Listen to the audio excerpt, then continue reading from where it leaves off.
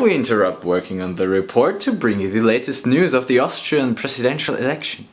Because the polls just closed literally five minutes ago, so we're expecting the first results in a few minutes. But to recap, what happened so far? In the first vote of the five candidates, I think it was five, I don't remember exactly, two of the candidates came in the second round. One from the far right, one from the far left. Let's not say far. Then for the second vote, it was really close between those two with only 3000 votes between them. Van der Bellen would have won, but the vote was uh, said to be invalid because of I don't even know exactly, but we had to do it again. So we did it again, almost, but then something wasn't right with the postal vote, so we had to do it yet again. Which brings us to today. Now I'm afraid I'm gonna have the same dilemma as with the US presidential election, where I'm just gonna be like, no! But we will see, we'll see what happens.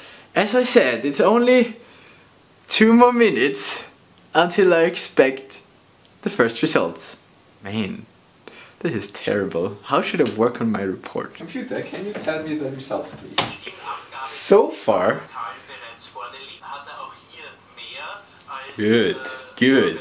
It's looking good, it's looking good. Alright, so far, with 46 to 53 point something for Alexander van der Bellen, which personally I think is good because I did vote for him and I would find it a bit ridiculous if the guy who would have won didn't win because of some formal error which could have happened you know but yeah the the whole the whole Trump situation maybe also influenced that and made some more people go to vote. I don't know what the reasons are. And also, that's not the final result yet. This is just the first analysis. And last time, in the first analysis, Van der Bellen was way ahead. And then in the end, it was very close.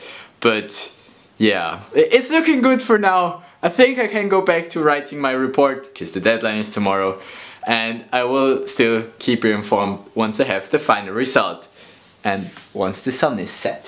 So nice and red. Insert sunset here.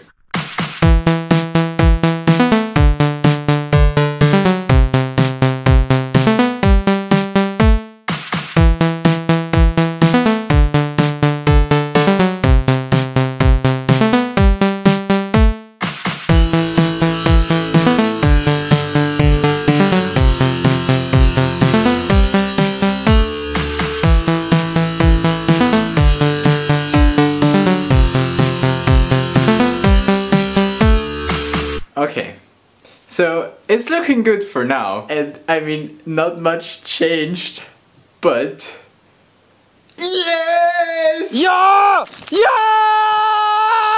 Do you know Cheese Noodles guy? There's a guy who went somewhere in the Arctic or wherever, and so he doesn't have to carry all his shit, he buries it on the way there to get it on his way back. And then when he came back after a very long journey, he found cheese noodles in one of his uh, hideouts. And he was very excited about it. Yeah! I wanted to do this for Hillary, but I can't. Um, at least I can do it for Dr. van der Bellen. yes! Go Austria. Like it, like it. Go Europe. Go Oh man, you have no idea how good I feel right now. Not only is Van der Bellen gonna be our next president, but also I managed to do the accuracy and stability analysis of the freaking implicit upwind scheme, which I was struggling with the past five days, so yes! Yeah! Good! ah, I like that, I like that, I like that.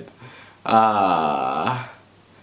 I'm almost like cheese noodles guy. Almost. Oh, I'm close to cheese noodles guy. Not not quite cheese noodles guy, but yeah. Yes. Ja! Yes, yes. I don't know the exact results in percent, but Hofer admitted that he lost.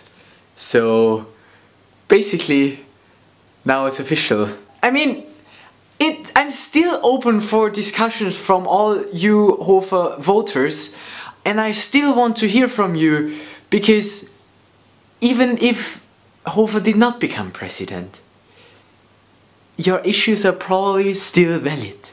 So, I want to listen to you in case there is anyone out there because it didn't really like so far I didn't have any interesting discussions on that topic yet so I'm still in my bubble basically. But I'm happy in my bubble right now because my bubble is the winning bubble. Great. But yeah I, I try to be more open here. Um, Okay, but now I'll just open my mouth to get some lunch. And you can make a backup and I hope that this is the right direction for Europe.